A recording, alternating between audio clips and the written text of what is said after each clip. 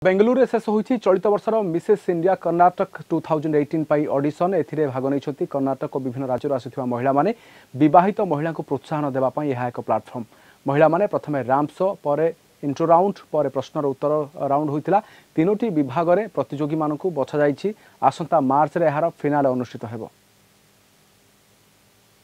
ये ये हमने शुरू किया था 2016 पे जा जहाँ से शुरू हुआ था लेकिन आज 2018 पे इतना बड़ा हुआ है कि हर कोने से कर्नाटक के स्टेट कोने से महिलाएँ आ रहे हैं हर विभाग से यानी सिर्फ़ घर में रहने वाली महिला नहीं है यहाँ है डॉक्टर्स है इंजीनियर्स है आ, जो ऑन्टरप्रनर्स है साइंटिस्ट है सब जगह से आ रहे हैं। इतनी संतुष्ट होती है कि आ, जो अपने आप में लिमिट हुए थे महिलाएँ अब सौंदर्य के फ़ील्ड में भी आगे आ रहे हैं। ये मिसेस इंडिया कर्नाटका पिछले तीन साल से मैं कर रही हूँ और ये इनका थर्ड एडिशन है और इस साल तो बहुत ज़्यादा कैंडिडेट्स हैं यहाँ पर 120 कैंडिडेट्स हैं और सारे कैंडिडेट्स हर जगह से हैं कोई आपका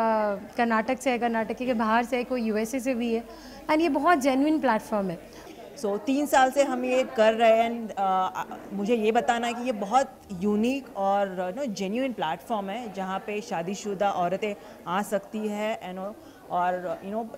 अपने आप को रिप्रेजेंट करे और एक चेंज फील करे, एक कॉन्फिडेंस फील करे। ये प्लेटफॉर्म एक ऐसी जगह है जिधर महिलाओं को बहुत अरसे के बाद एक अपॉर्चुनिटी मिलता है। तो ये सब करने का सबका इच्छा होता है, मगर कोई चांस नहीं मिलता। तो इसलिए